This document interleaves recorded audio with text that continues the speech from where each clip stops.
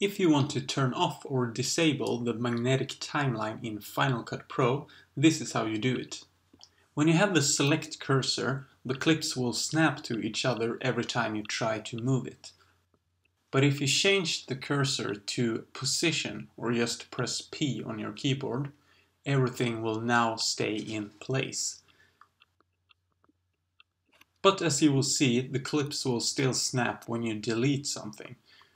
To avoid this, hold down Fn when clicking delete and everything will stay in place.